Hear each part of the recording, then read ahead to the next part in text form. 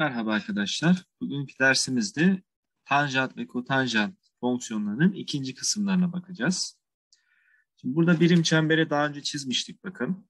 Şu P noktası, çember üzerinde bir P noktasının apsisi kos alfaydı. Ordinatı ise sinüs alfaydı.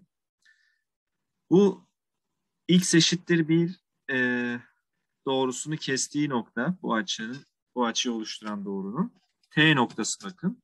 Bu T noktasının apsisi neydi? Bir ordinatı neydi bunun? Tanjant alfaydı. Aynı şekilde bu uzunluğun arkadaşlar y eşittir bir noktasını kestiği noktanın apsisi neydi? Kotanjant alfaydı. Yani şu uzunluk BL uzunluğu kotanjant alfa.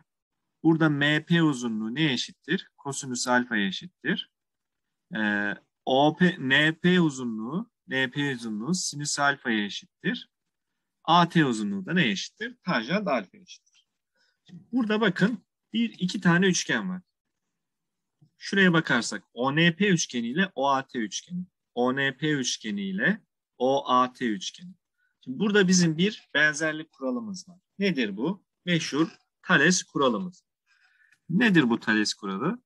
OE'nin uzunluğu yani şu uzunluğunun tamamına OA'ya oranı NP uzunluğunun arkadaşlar NP uzunluğunun AT uzunluğuna oranına eşittir. Şimdi şurayı bir silelim.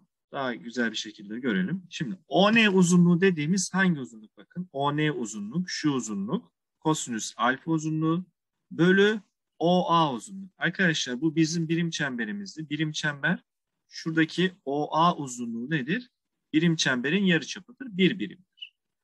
Zaten birim çember nereden geçiyordu? 1'e 0 noktasından geçiyordu. Eşittir NP uzunluğu. NP uzunluğu bakın şu uzunluk. Bu uzunluk neye eşit? Sinüs alfaya eşit demiştik. P noktasının ordinatıdır burası. Bölü ne diyeceğiz? AT uzunluğu. AT uzunluğu bakın x eşittir 1 noktasını kestiği noktanın ordinatıdır. Yani tanjant alfa. Bakın böyle bir eşitlik elde ediyoruz. Buradan içler dışlar çarpımı yaptığımız zaman ne olacak burası? Kosinüs alfa çarpı tanjant alfa eşittir sinüs alfa oldu. Burada her tarafı kosinüs alfaya böldüğümüz zaman kosinüs alfaya böldük. Kosinüs alfalar gitti. Bakın tanjant alfa buradan ne geldi? Sinüs alfa bölü kosinüs alfa. O zaman tanjant alfa dediğimiz şey bizim nedir? Sinüs alfa bölü kosinüs alfa diyeceğiz. Nereden geliyor? Bu iki üçgenin benzerliğinden gelmiş oluyor. Aynı şekilde bakın şurada OMP üçgeni var. Şöyle göstereyim. OMP üçgeni var bakın. Bu üçgen de aynı zamanda dik üçgendir. Bu üçgenle arkadaşlar OBL üçgeni. Onu da yeşille çizelim. Bakın şu OBL üçgeni nedir? Benzer üçgenler. Burada da ne diyeceğiz? OM'nin uzunluğu OB'nin uzunluğuna oranı bölü MP'nin uzunluğu şu MP uzunluğunun oranı uzunluğu bölü BL uzunluğunun oranına eşit olacak. OM dediğimiz şey neresi? OM uzunluğu dediğimiz yer sinüs alfa. OB uzunluğu çemberin yarıçapı bir birimdir. MP arkadaşlar, MP P noktasının nesi bakın dikkat ederseniz e, MP apsisi. Apsis de nedir? Kosinüs alfaydı. E, sonra BL uzunluğu bakın y eşittir bir noktasıyla kesişen noktanın apsisi yine nedir? Kotanjant alfa. Buradan da yine içler dışlar yaptığımız zaman ne olacaktır? Sinüs alfa çarpı kotanjant alfa eşittir kosinüs alfa oldu.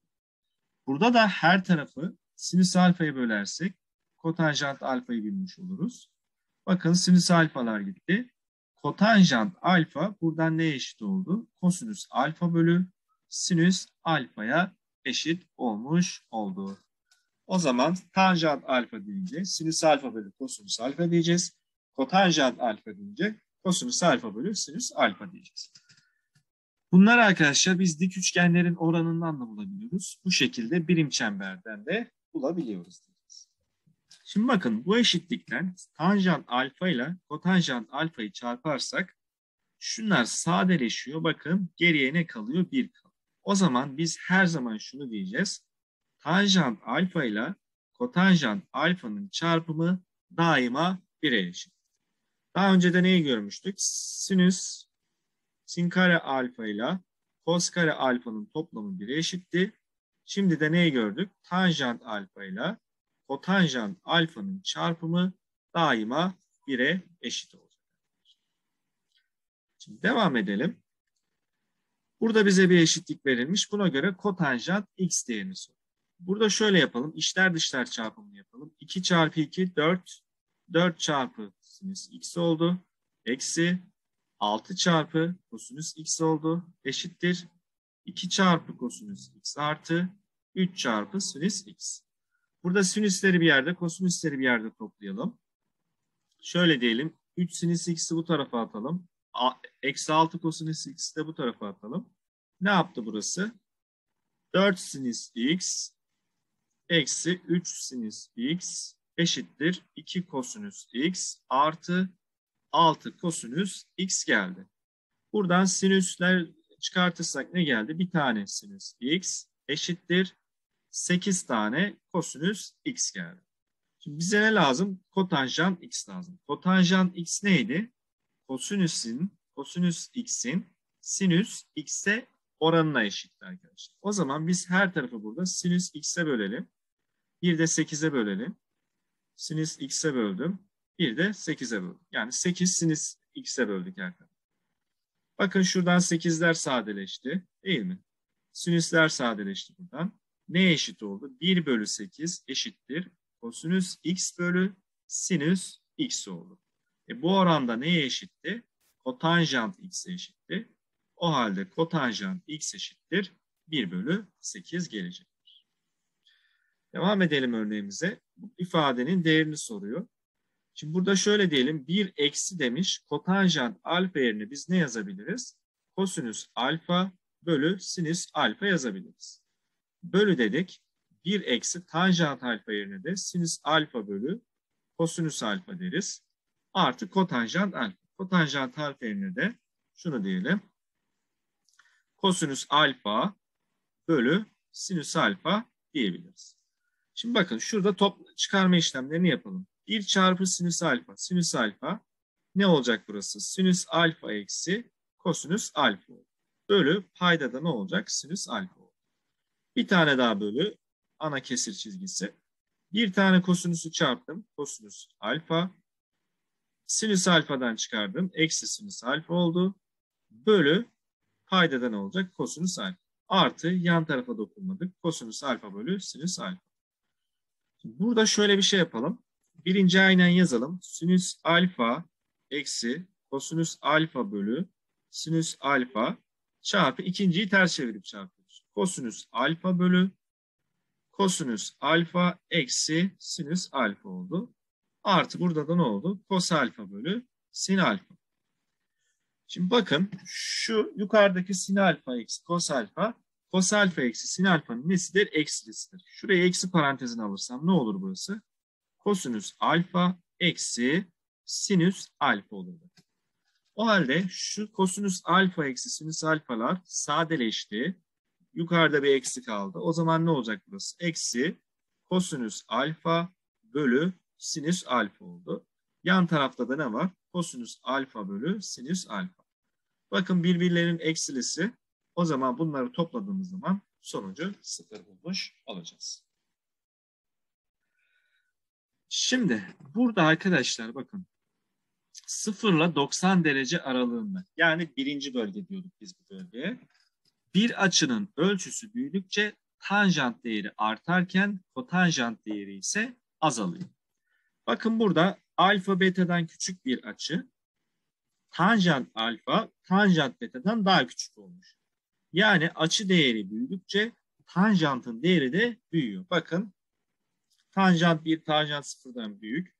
Tanjant 89 88'den büyük. Yani açı değerleri büyüdükçe bizim tanjant değerimiz de büyük oluyor. Yani burada tanjant 30 değeri tanjant 20 değerinden büyük olmuş oluyor. Kotanjantta ise tam tersi bakın kotanjantta en büyük değer 1 derece olurken kotanjantın 90 derecesi en küçük değer olmuş. O zaman birinci bölgede tanjant artan fonksiyon, kotanjant ise azalan bir fonksiyon. Bunu sinüs ve tanjant içinde yapmıştık. O zaman şöyle diyelim, birinci bölge diyelim. Daha önce öğrendiklerimizi de hatırlayalım. Sinüs ve tanjant arkadaşlar. Bu bölgede nedir bunlar? Artandır. Kosinüs değeri ve kotanjant değeri arkadaşlar, kotanjant değeri azalan bir fonksiyon. Sinüs ve tanjant fonksiyonları artan fonksiyonken kosinüs ve kotanjant fonksiyonları birinci bölgede azalan fonksiyonlar olacak. Şimdi burada ABC verilmiş bakın. Buna göre ABC küçükten büyüğe doğru sıralayın demiş. Şimdi burada şu C'yi önce bir çevirelim. C ne burada? 150 derece. Bunun çevrilmesini göreceğiz. Şöyle deriz buna. 180 eksi 30 derece deriz. 180'den 30 çıkartırsam ne olur? 150 olur yine. Bu da şöyle ikinci bölgeye düşüyor. İkinci bölgede tanjant artı. O zaman artı tanjant diyoruz. Küçük açının değeri. Tanjant 30, 30 diyeceğiz. Bunu e, yine öğreneceğiz ileriki derslerimizde. Şimdi o zaman A tanjant 70, B tanjant 15, C de tanjant 30. Hepsi 90'dan küçük. Hepsi birinci bölge. Birinci bölgede tanjant artan fonksiyon. Şimdi o zaman açısı büyük olan tanjant en büyük olacak. Bakın 70 derece var tanjant 70. O zaman burada A en büyük olacak. Sonra küçükten büyüğe demiş. Şöyle diyelim o zaman. En küçüğünü yazalım. En küçük açı değeri 15 derece. O zaman B en küçük olacak. Sonra tanjant 30 derece C. En büyük ise A olacaktır. Burada da kotanjant değerini vermiş. Kotanjant 80 derece, kotanjant 25 derece, kotanjant 40 derece. Hepsi 90'dan küçük. Birinci bölge burası. O zaman birinci bölgede kotanjant neydi? Azalandı. Açı değeri büyüdükçe kotanjantın değeri küçülüyordu. Küçükten büyüğe demiş. O zaman en büyük açılı kotanjant değeri en küçük olacak. Yani burada A en küçük olacak. Sonra C en büyük ise B değeri olacak. Kotanjant 80 derece en küçük olacak. Kotanjant 40 derece. En büyük ise kotanjant 25 derece.